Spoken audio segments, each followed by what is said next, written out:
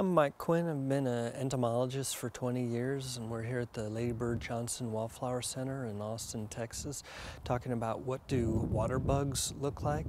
Water bugs can uh, name can reply, apply to a variety of insects, but um, to entomologists, water bug is uh, a group of insects known as the, uh, uh the giant water bugs, and uh, they can reach up to 65 millimeters in the U.S. and 100 millimeters in length in the tropics.